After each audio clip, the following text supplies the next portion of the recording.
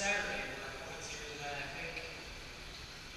Next Friday we're on the third round of uh, the Friday no drops, every race counts.